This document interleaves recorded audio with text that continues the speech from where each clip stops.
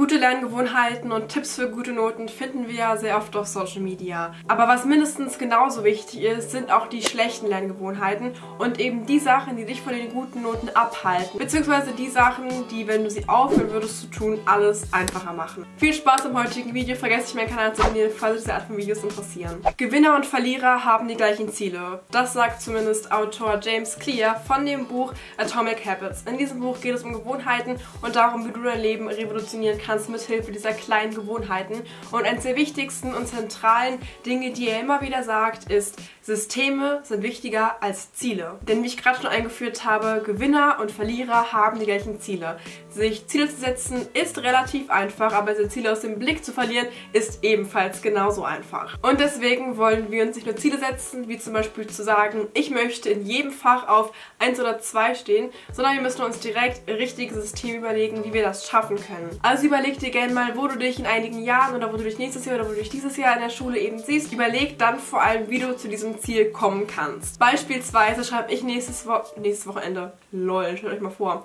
Und zwar schreibe ich nächstes Jahr meine Abiturklausur und habe endlich mein Abitur. Das ist richtig realitätsfern gerade noch und ich finde es total krass. Und ich habe zum Beispiel Spanisch als Abifach, als mündliches Abifach gewählt. Was heißt, dass ich mich gut auf Spanisch vorbereiten muss. Natürlich möchte ich eine gute Punktzahl im Abitur erreichen. Und ich habe mir dann einen Plan gemacht, wie ich das Ganze erreichen möchte. Und habe mir dann so Dinge rausgesucht wie jede Woche Vokabeln lernen, jede Woche versuchen ein bisschen zu reden, im Unterricht gut zuhören, Zusammenfassungen schreiben und so weiter. Und ich habe mir da einfach ein paar Gewohnheiten rausgesucht, die ich denke, die sinnvoll sind und werde diese jetzt logischerweise dann auch so durchführen. Das Niveau deiner Ziele ist wahrscheinlich ziemlich hoch, aber du wirst nicht zu diesem Niveau deiner Ziele aufsteigen, sondern du wirst zu dem Niveau deiner Systeme runterfallen. Es, es klingt irgendwie ziemlich hart, aber jeder kann Ziele haben, aber wirklich dafür zu arbeiten ist eigentlich die Sache, die wir anstreben sollten. Und deswegen Systeme statt Ziele. Die zweite schlechte Lerngewohnheit, die wir alle machen oder alle gemacht haben, ist den Text einfach nur durchlesen und denken, man hätte gelernt. Ja, in der Grundschule ging das und auch noch in den unteren Klassen ging das, dass man sich Texte einfach durchliest und dann für die Klausur oder für den Test dann gelernt hat und dachte, man konnte alles. Vielleicht konnte man dann noch alles und das war voll okay.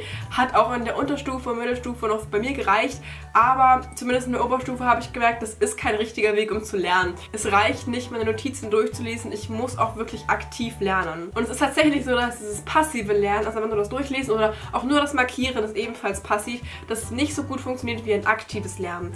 Aktives Lernen wäre zum Beispiel, sich Dinge selbst abzufragen. Mit Hilfe Karteikarten kann man das zum Beispiel sehr gut machen. Oder du kannst einfach mal deine Notizen zudecken und gucken, an was du dich noch erinnern kannst. Was ich auch gerne mache, ist Blurting. Beim Blurting schreibst du einfach mal alles auf, an was du dich erinnern kannst und vergleichst es dann nach dem Aufschreiben mit deinen richtigen Notizen. Das heißt, du darfst erst nicht gucken, musst alles aktiv aus deinem Gehirn wieder ab aus deinem Gedächtnis wieder abrufen und danach darfst du es gucken, ob du dich wirklich noch an das Richtige erinnert hast. Das ganze aktive Lernen nennt man Active Recall und ich habe dazu auch schon mehrere Videos gemacht, wo ich euch das nochmal genauer erklärt habe und auch Beispiele gezeigt habe. Ansonsten sieht man es auch sehr gut in meinen Klausurvideos, wo ich euch auch mitgenommen habe, wie ich immer für meine Klausuren lerne. Also checkt das gerne am Ende ab. Ich verlinke es nochmal am Ende dann in der Endcard. Kommen euch diese Sachen hier bekannt vor? Wenn ihr das Fach Deutsch habt, bestimmt. Ich habe hier einmal dabei, sind bei mir ich habe und Liebe. Das sind alles Reklamhefte und das sind alles Bücher und Lektüre, die wir in der Schule lesen mussten. Und ich habe tatsächlich bisher jede einzelne Lektüre, die wir lesen mussten, gelesen. Und es hat mir extrem viel geholfen, vor allem in Klausuren. Oh mein Gott, ich habe das Beste vergessen. Ich habe noch Romeo und Julia. Ich sehe total den Punkt, dass Schule Lesen kaputt macht und dass man oft in der Schule Bücher liest, die man sonst überhaupt nicht lesen würde und die einem den Spaß am Lesen nehmen. Das sehe ich komplett. Ich finde ebenfalls, dass ich in meiner Freizeit viel interessantere und bessere Bücher lese als in der Schule. Und ich finde es auch wirklich schade, weil die meisten meiner Klassenkameraden eben nicht lesen in ihrer Freizeit und sie dann lesen nur mit diesen Schullektüren assoziiere. Das finde ich immer voll schade, weil ich eine Person bin, die sehr gerne liest, zum Beispiel Bücher wie dieses hier. Ähm, aber ich das, glaube ich, auch nicht lesen würde, wenn ich nicht gelernt hätte, dass Lesen was Spaßiges sein kann und das habe ich schon sehr früh in meiner Kindheit eigentlich gelernt. Ganz anderes Thema eigentlich gerade, was ich eigentlich sagen wollte. Mein Punkt ist, lest die Schullektüren. Oh Gott, ich bin ja voll ab, abgeschweift. Es dauert oft nicht lange und es hilft euch enorm im Unterricht. Denn nicht nur in den Klausuren braucht ihr das Wissen, ihr braucht das Wissen auch im Unterricht, wenn ihr über die Lektüren redet und darüber diskutiert. Ich kann mir ehrlich zu sein gar nicht vorstellen, in eine Klausur reinzugehen, ohne die Lektüre gelesen zu haben, worüber wir die Klausur schreiben. Was ist das? Wer macht das? Okay, wahrscheinlich viele. Aber ich finde es krass.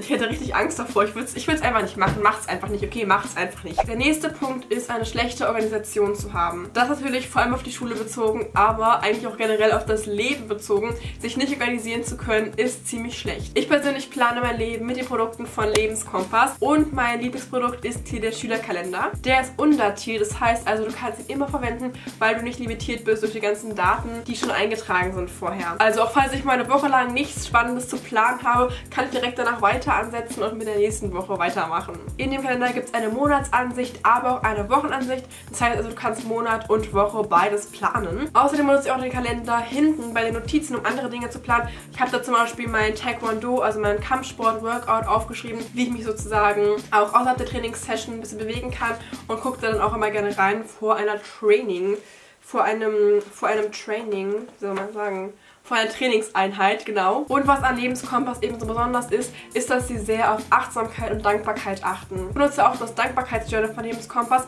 aber selbst in diesen Kalendern gibt es immer eine Dankbarkeits- und Achtsamkeitssection. Man wird immer mal wieder angehalten zu reflektieren und zu überlegen, was man gerade dankbar ist oder was gerade schön in dem Leben ist. Kann man auch immer reflektieren, wie es einem geht und das hier ankreuzen. Es ist mega wichtig, den Schulalltag wirklich genau organisiert zu haben und geplant zu haben und das geht hiermit auch richtig gut, weil es auch Prüfungslisten gibt. Das heißt, man kann auch Klausuren eintragen und genau im Blick haben, wann du die Klausuren dann schreibst. Und du kannst auch hier oben bei den Punkten direkt eintragen, was du für To-Dos an dem Tag hast. Ich mache es nämlich immer so, dass ich unten in diese unteren Spalten eintrage, was ich für Termine habe, also Dinge, die wirklich klar sind, die nicht mehr verschoben werden können.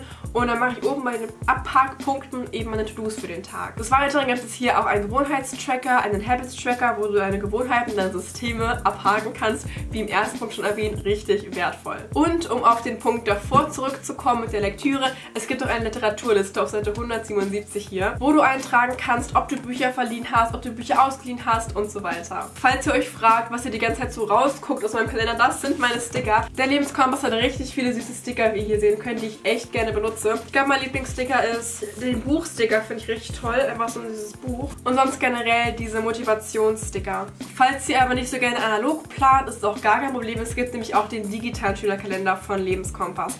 Den benutze ich auch, vor allem in der Schule, weil ich eben immer so ein bisschen gucke, was eben gerade besser passt, weil logischerweise, wenn ich gerade am iPad bin, sowieso was in der Schule eben mache und wenn der Lehrer sagt, dass wir diese und diese Hausaufgabe haben, ist einfach einmal schnell bei GoodNotes dahin zu gehen und dann eben das einzutragen, als meinen ganzen Kalender rauszuholen und dort erstmal eine Seite aufzuschlagen, bla bla bla. Das mache ich lieber zu Hause, weil ich mehr Zeit habe und mir richtig schön für das Gestalten und so weiter Zeit nehmen kann zu Hause. Natürlich habe ich auch einen Rabattcode für euch und ihr spart 10%, wenn ihr den Code LaraEmily bei eurer Bestellung bei Lebenskompass im Online-Shop eingebt. Ich glaube, beim letzten Punkt können sich auch wieder alle identifizieren. Und zwar ist das, an falschen Orten zu lernen. Ganz insbesondere im Bett zu lernen.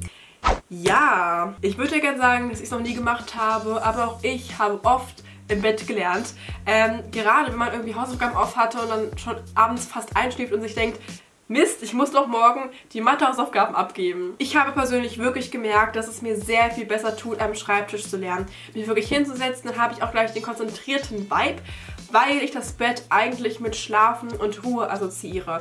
Vor allem nicht ich, sondern mein Gehirn macht das. Und wenn ich im Bett lerne, kann ich mich nicht so gut konzentrieren und fokussieren, weil mein Gehirn eben denkt, jetzt wäre Zeit zum Schlafen und Zeit zum Abschalten. Wenn ich mich aber im Gegensatz dazu hinsetze, alles aufschlage und wirklich diesen Study-Vibe habe, dann weiß mein Gehirn, es ist gerade Zeit, was aufzunehmen, zu arbeiten und dann geht das auch viel besser. Ich weiß, dass einige leider keinen Platz in ihrem Zimmer haben für einen Schreibtisch oder für eine ja, dedizierte Study-Umgebung. Und da kann ich euch auch empfehlen, zum Beispiel in öffentliche Plätze zu gehen. Es gibt nämlich ja auch ganz viele Bibliotheken oder Cafés oder eben auch Parks, wenn es noch draußen wärmer ist. Ansonsten auch sehr gerne mit Freunden zum Beispiel zusammen lernen und dann zu denen nach Hause gehen. Oder man kann auch, wenn es nicht zu laut ist, auch in äh, anderen Bereichen des Hauses lernen, wie zum Beispiel in der Küche oder im Wohnzimmer, wenn das dann eben mit den Familienmitgliedern irgendwie abzusprechen geht, dass die einen dann nicht stören während dieser Lernsession. Falls euch das Video gefallen hat, wird euch definitiv noch mein anderes Video gefallen, was ich euch hier verlinke. Guckt auf jeden Fall vorbei, um meine Lernmethoden nochmal in Aktion zu sehen. Und ich hoffe, dass ihr einen wunderschönen Tag habt und bis bald. Tschüss!